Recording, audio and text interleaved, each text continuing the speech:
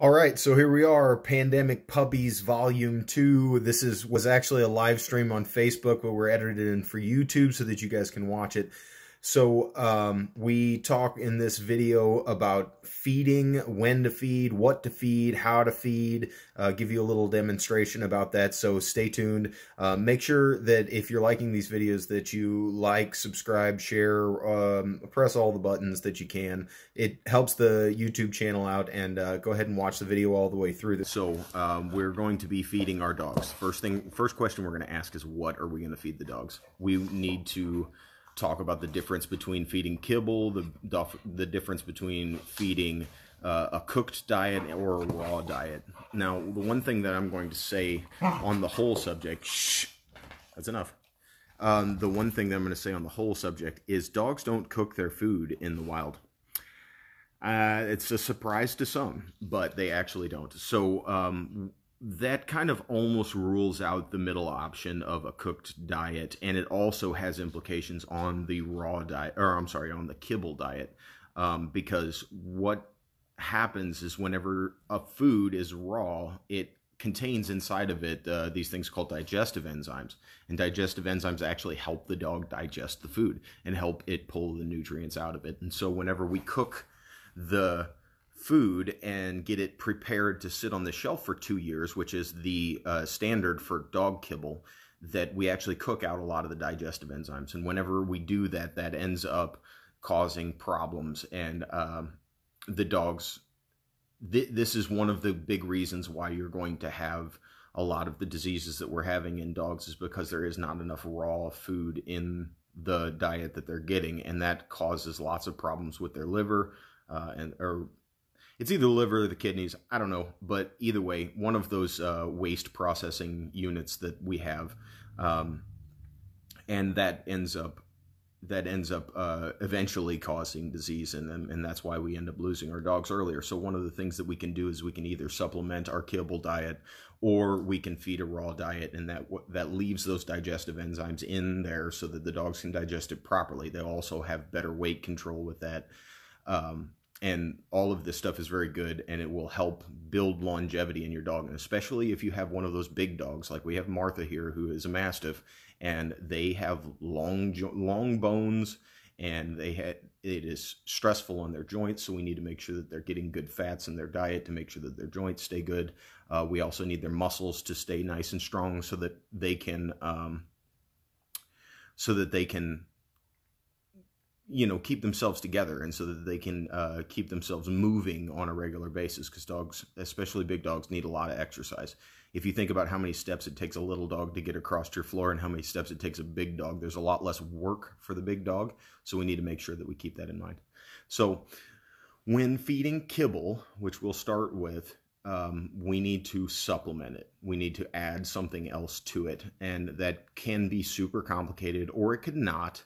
What um, what I do personally is I add raw egg on top of the food. Now eggs are in a hermetically sealed container. Um, bacteria doesn't get into them until you open them up. So if you crack the egg and put it directly on the food, you're not going to deal with any sort of bacteria.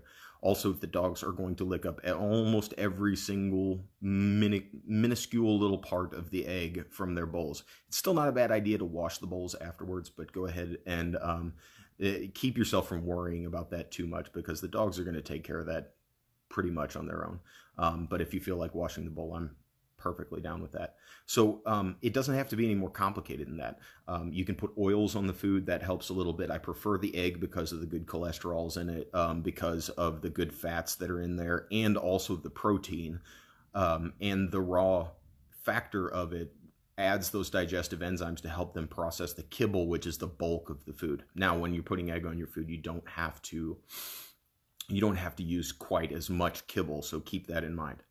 Um, the next question people usually have is what frequency. To be perfectly honest, I don't do it a ton. Um, you could do it every single meal.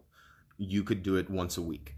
Um, there's no exact right answer, and it kind of depends on your dog. If you've got a little tiny dog and you're putting in a whole egg on their food all the time, every single meal, you're going to have a big fat dog.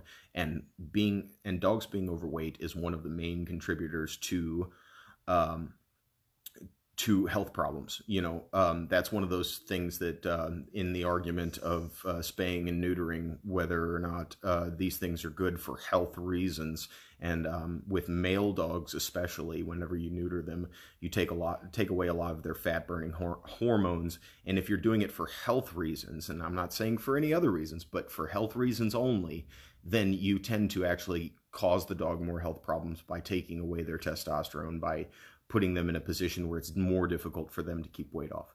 So, moving on from that. So, um, you're going to want to use your own discretion on that. You're going to want to watch the weight of your dog. That's another thing that uh, we talked about yesterday, and I want to cover again today is how do I know how much to feed my dog? Um, it's it's super difficult feed your pick out an amount that you think is about right. Go by the directions on the bag or something like that and feed that amount to your dog and watch them and see if they gain weight or lose weight. If they lose weight add a little bit to it. If they gain weight take a little bit away. Simple as that. It's not a real big deal. We don't need to we don't need to be super focused on exact amounts that we feed our dogs. I don't even measure the food in my dog bowls. I have a general amount, and if I see them starting to pork up a little bit, then I just don't feed them quite as much for a couple days. Um, let's also talk about frequency.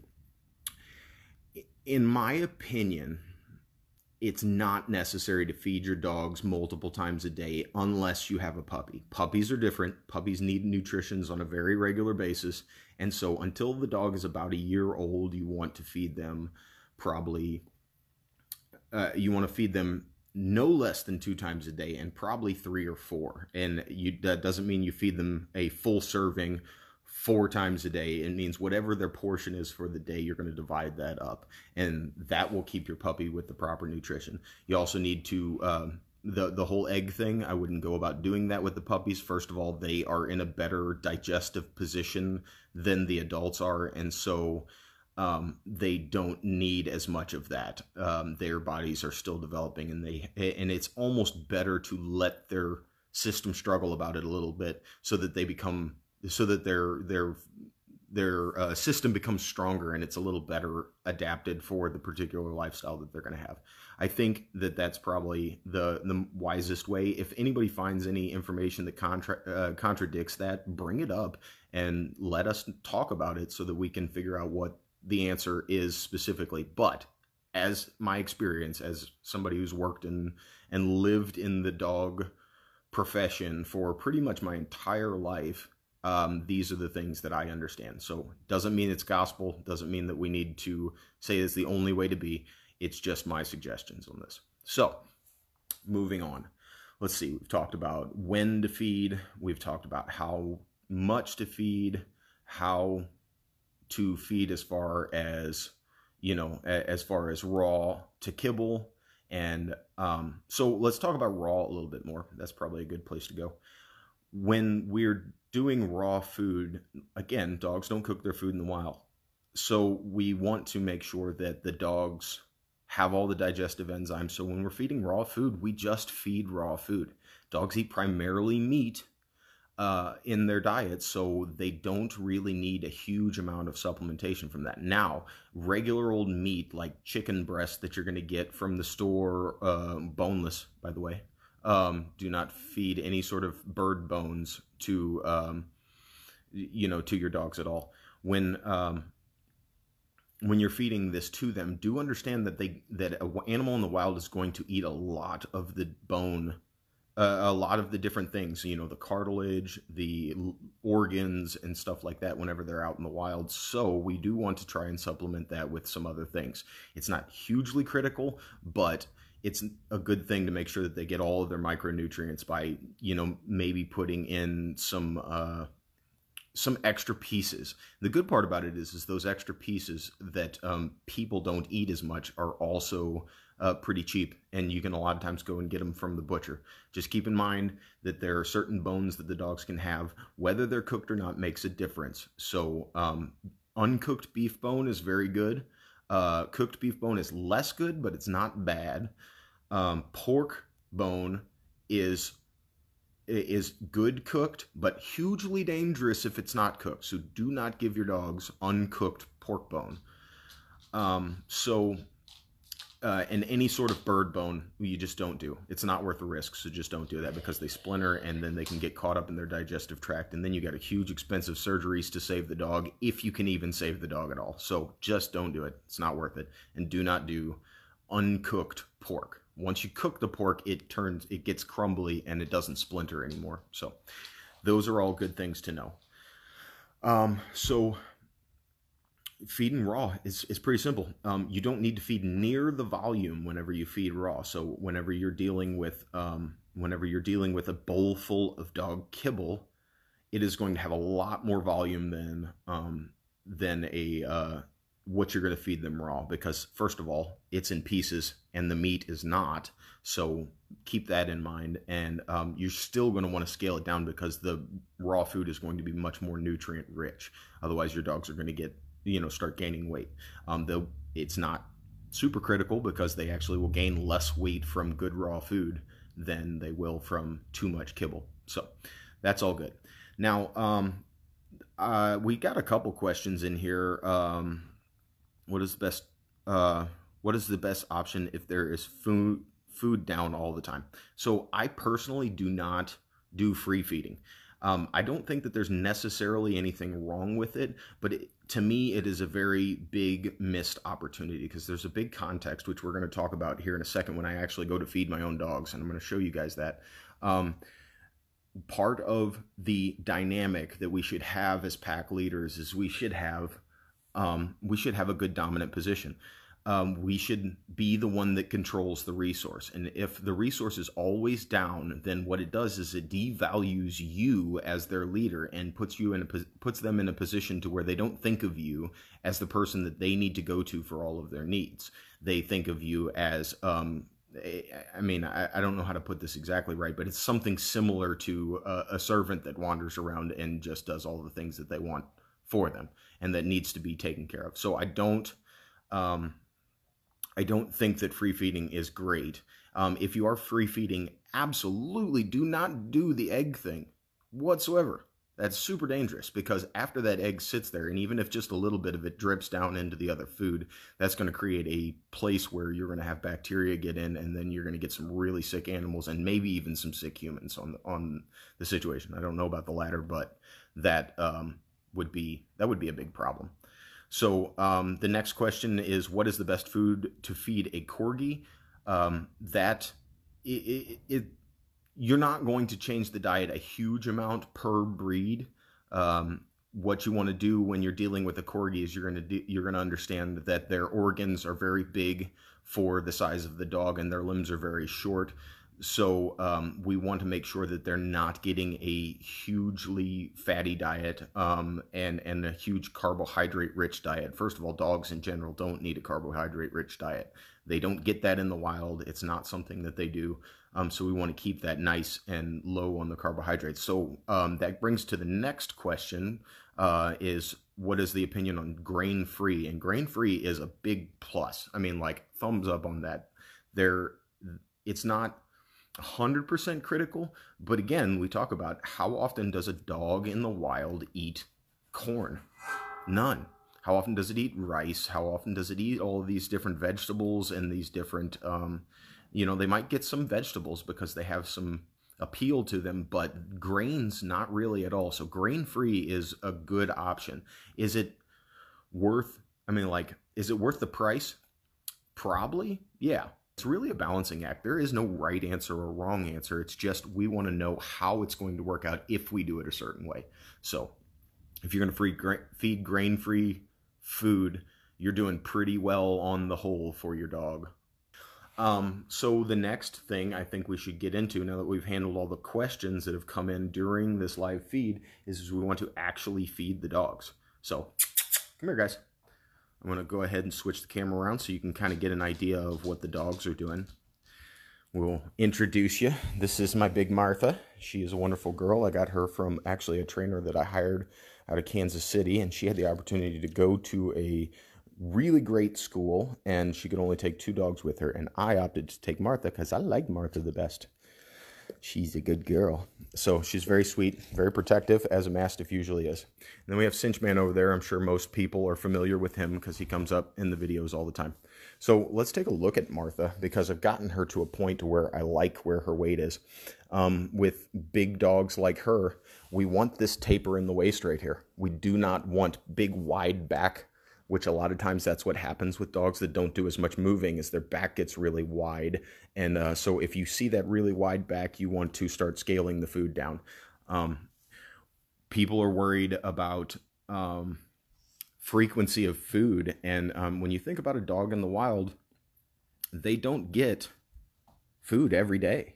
So if you are getting to the point where you're still feeding the dog every day, but you're only giving it just a little, it's not going to kill the dog. In fact, it's going to put it in a good position to lose some weight and they'll actually feel better for it. So, Cinch, come here.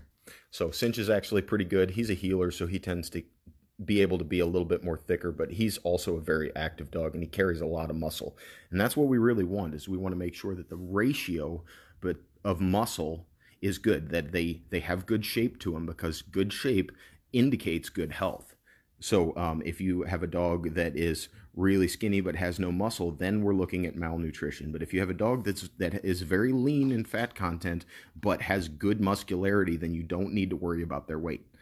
It's fine for them to be lean. We as Americans think about it as, you know, like everybody needs to be a little plump, and that's just not the case. It's not healthy. So we want to make sure that um, that our dogs stay nice and lean so that we can keep them around because mastiffs uh, in general only live 10 years and I would like to have her around longer than that. So um, oh, okay, here we go. This is what we talked about yesterday. We um, we want to create a context, a, a, a word that tells them what time of day it is and whether it's time for food. So um, whenever we talk about food, we want to give the dog a command that means that lets them know that food is coming. So cinch. Is it chow time? Is it chow time? It's time to eat. Good boy. Chow time. And so if you precede your feeding time with a word of some sort, then the dogs can learn that it's time. I feed my dogs in the kennel. There are lots and lots and lots of good reasons to feed a dog in a kennel because it takes away any sort of concern that they have for the food of whether or not they're going to be able to eat all of it before somebody's going to come and take it from them. And so it allows them to be more relaxed in their food in their food eating process. And we want very relaxed dogs whenever they eat. When you have food aggression one of the one of the or possessive nature about the food you get to um, you can fix that by making sure that the dogs are very secure when they're eating. Nope. So I've gone through the process of teaching the dogs that they need to wait for their food. That is also very healthy. The very first lesson a dog learns before it even leaves its mother is that we wait. Waiting is hugely important for dog psychology. They need to learn how to wait and they need to learn how to respect the authority and follow the directions. Otherwise, they um, end up acting on their impulses and getting themselves in trouble. So we're going to create a word that um, tells them to wait, which is just no, nope. And that lets them know because I make almost all things that I don't want to do the dogs to do is the word no. And then we want to let them know when it is time for them to eat and that they can go ahead and do that. So, okay, free. So Cinch is a little bit of a pain on that, and sometimes he uh, sometimes he uh, doesn't start eating until I give him multiple frees, and that's just a weird thing. But uh, honestly, the best thing to do about that is tell him the word that you want, and then just walk away and leave him to it, and then he'll eventually start eating on his own, and he'll find out he doesn't get corrected for that, and so it's obviously the right answer. So we want to make sure that the dogs eat in separate places. There's nothing wrong with that. It is a good context. It helps the dogs to want to be in their kennel more so. Um, it gives them a good reason to be in the kennel. And so we want to give them that opportunity so that the kennel becomes a good place and they are not hesitant to go in there. And um, free feeding, you don't get that because then the kennel's only context is containment and lack of freedom. So uh, we want to give them something good inside of their kennel. Um, and that's pretty much the big talking points on feeding. I mean, it's been a little bit of a video, but I uh, want to make sure that you guys get all the information that you can. And um, the dogs are very happy with this. They It is a good routine. It's consistent. Um, I will talk about time of day of feeding. And the time of day is when you want to feed them. It doesn't matter at all.